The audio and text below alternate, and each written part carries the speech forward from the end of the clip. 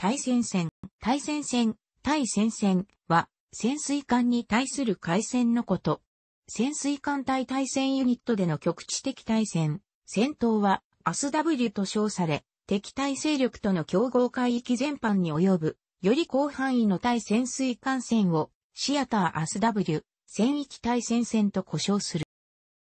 対戦線では他の形態の海戦と同様に戦車や兵器などの技術的進歩、訓練及び経験、平時からの敵潜水艦の音門や時期特性などの継続的な収集と潮流など自然環境の観測、海戦術や航空戦術の改善により戦闘時の優位をもたらす。とりわけ、最初に敵潜水艦を発見するソナーの役割は大きく、対戦線の成否の鍵を握っている。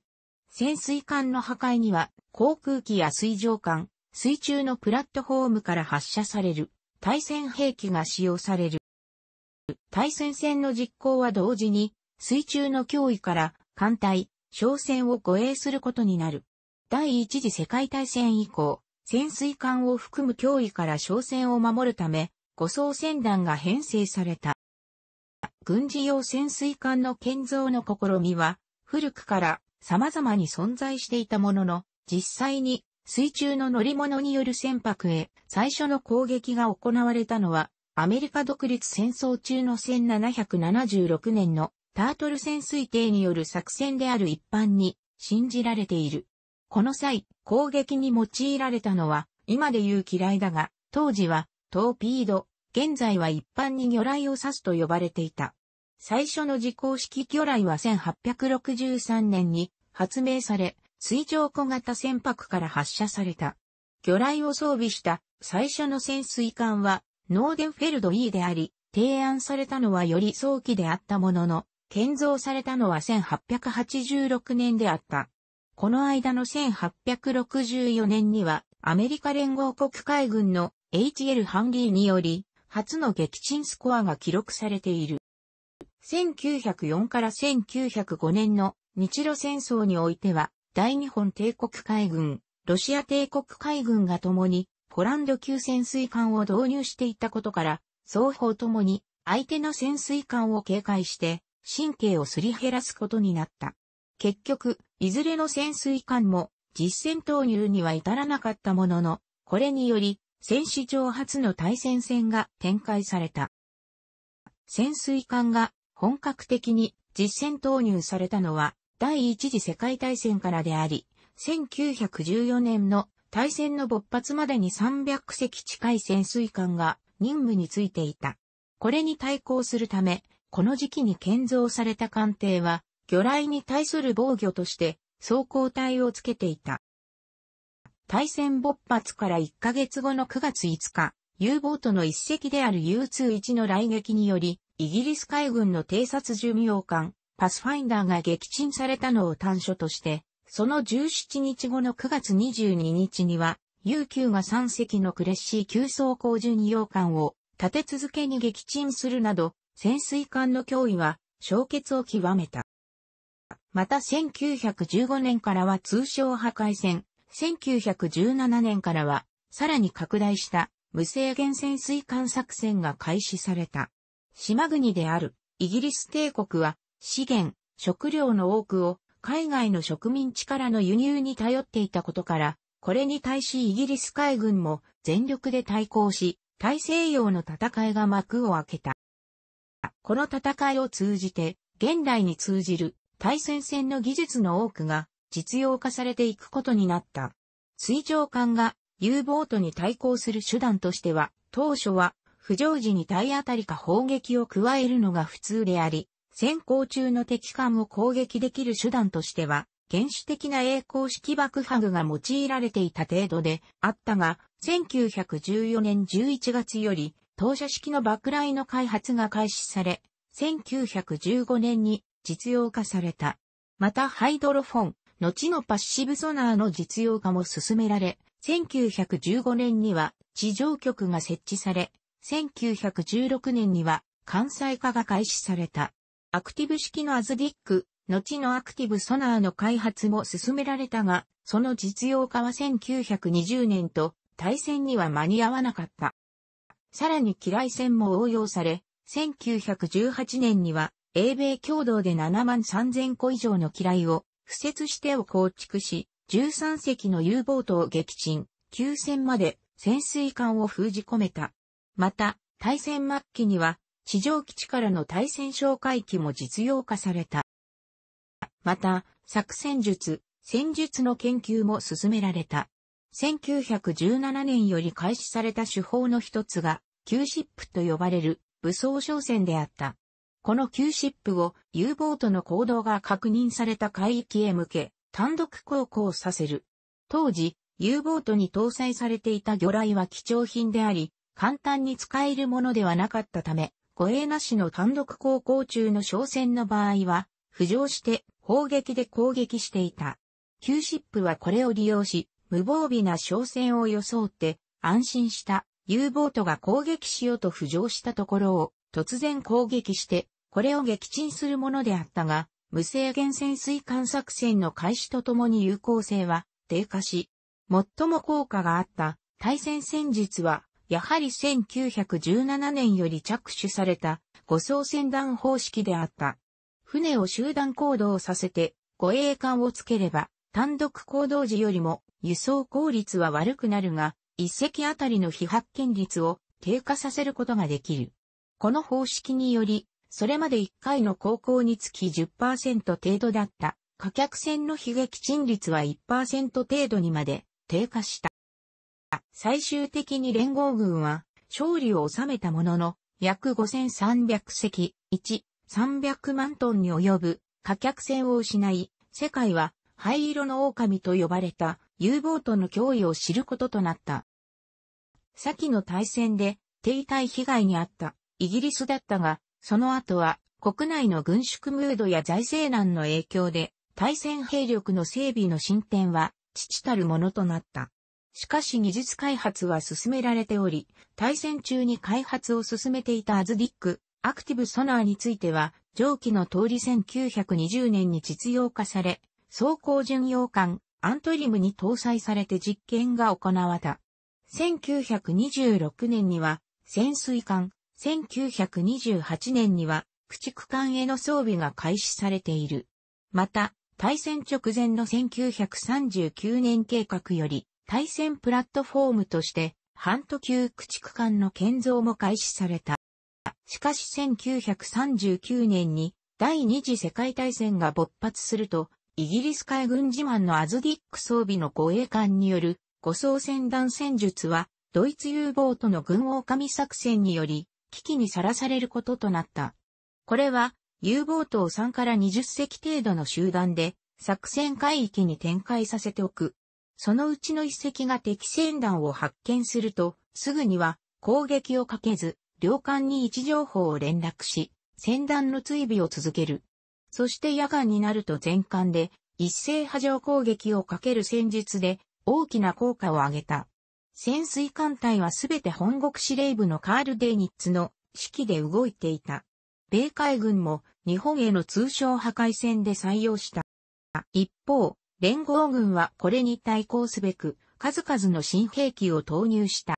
また、初めて数理学的分析も導入された。イギリス軍では、すでにバトル・オブ・ブリテンにおいて、パトリック・ブラケット博士をはじめとする数学者たちが、オペレーションズ・リサーチを活用してたが、ブラケット博士は、海軍士官候補生として第一次世界大戦に従軍していたこともあり、対潜戦への応用にも積極的であった。アメリカ海軍においても、1942年、大西洋艦隊対潜部隊指揮官であった W.D. ベイカー大佐は、の支援下に対潜戦 Operations Research Group、アス W アッパーシャンリサーチグループ、アソルグを編成した。編成時の人員は7名であったが、1943年7月には44名に増強されて、第10艦隊隷下に編入。さらに1944年10月には、対潜戦以外の分野にも支援を提供するた、合衆国艦隊司令長官の直卒下に移動されて、ORG、 Operations Research Group と改称された。第二次大戦での大西洋の戦いでは、最終的に連合軍は3000隻、1、600万トンの貨客船を、ドイツ海軍は700隻余りの U ボートを失った。一方、第二次世界大戦末期より、センサーと武器システムの双方で、次世代への砲火が出現しつつあった。センサーとしては、従来用いられてきた、サーチライトソナーに代わり、迅速に操作、モード変換できるスキャニング、操作型ソナーが主流となった。初めて実戦配備されたスキャニングソナーは1948年より艦隊配備されたアメリカ海軍の QHB で、これは後に、アン、SQS-10、11と解消した後に、アン、SQS-4 に発展し、護衛駆逐艦やフリゲートで広く用いられた。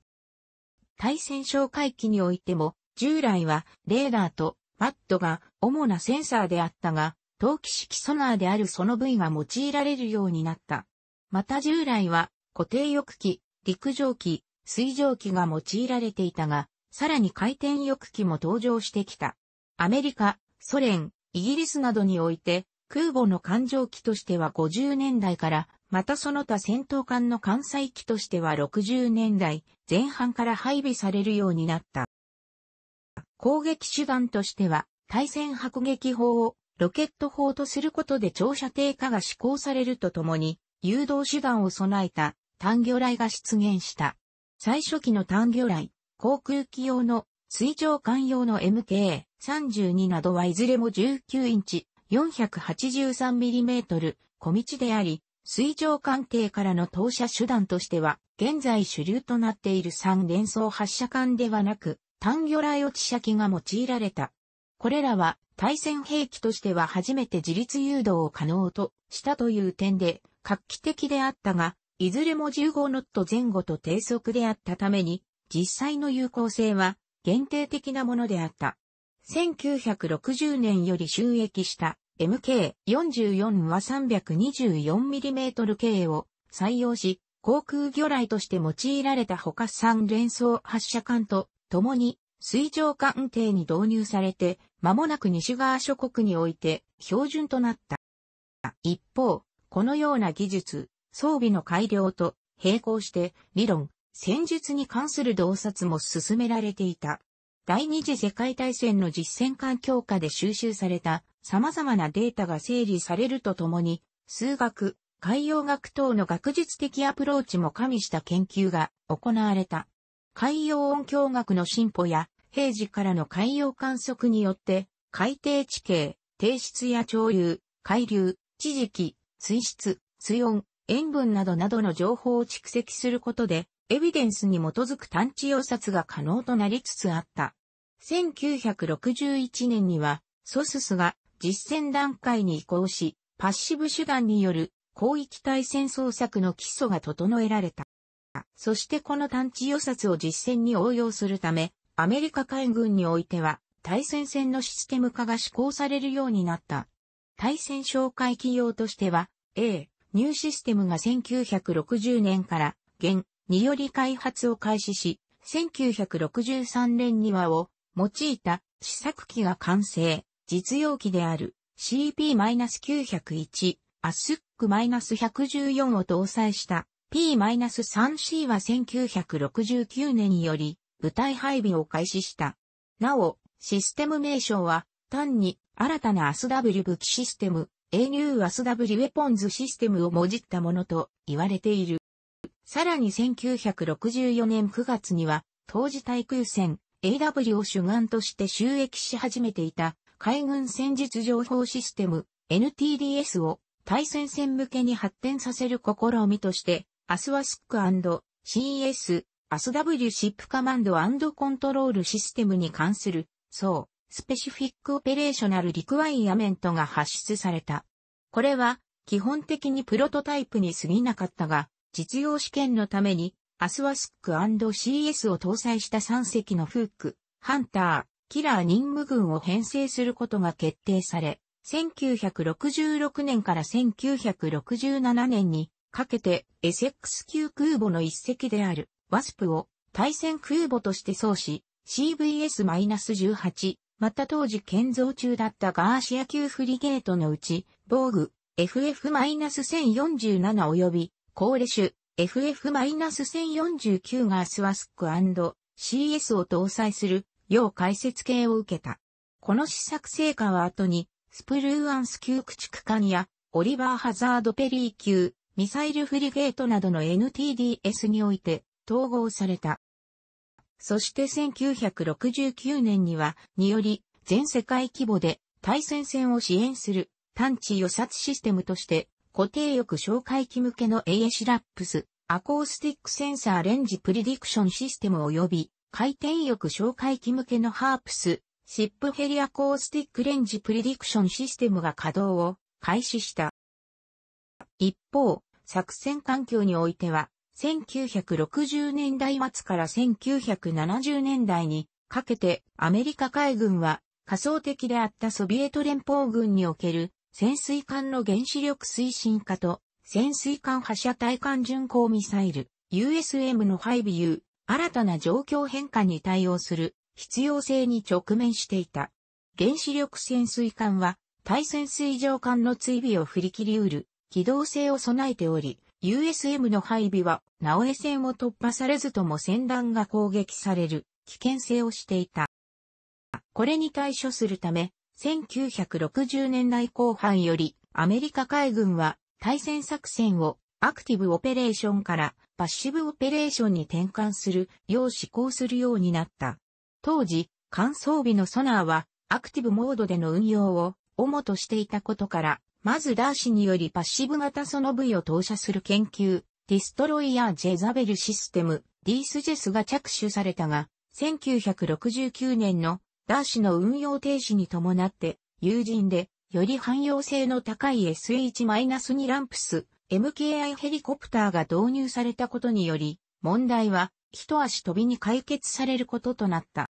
またこれらと並行して収束帯を利用しての遠距離探知が可能なソナーシステムの開発も進められた。艦隊装備方式ではソナーアレイの全長に限度があることから、このような制約を持たない栄光式のソナーシステムの戦闘艦への配備が計画された。これはセルタス計画と並行してエイタスとして開発されることとなった。まず、初期の栄光ソナーシステムであるアン SQR-15 タスが1973年から1974年にかけてブロンシュタイン級フリゲートなど一部の艦に実験的に配備された。しかし、これは装備艦の戦術的行動をあまりに大きく制約されることから最終的に撤去されていた。この経験からアメリカ海軍は戦闘艦に装備した場合に、より柔軟な運用が可能であることが必要であると考えるようになり、これを反映して、計画名は後に戦術栄光ソナーシステムに変更された。海上自衛隊が初参加した1980年の艦隊併用合同演習、リムパック80の時点で、アメリカ海軍はすでにパッシブオペレーションへの移行をほぼ完了しており、日本側に大きな衝撃を与えた。演習期間中、アメリカ海軍の対戦戦術に従って行動した天津風においては、実動11日間の演習中、アクティブソナーの発信は、接敵直前のわずか10分間のみであったとされている。